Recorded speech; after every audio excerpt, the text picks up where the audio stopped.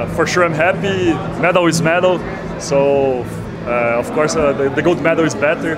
But yesterday we, we did a really good match against Poland. Uh, they, they were better than us. Uh, a little bit deta- details, uh, so they, they won the, the game.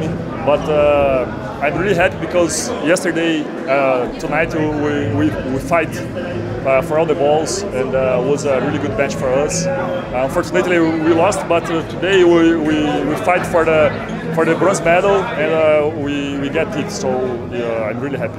Yeah, this atmosphere is amazing. It's incredible. It's, it's, very very good to, to play uh, this crowd. So uh, I felt this in Zawiercie in, in a few matches.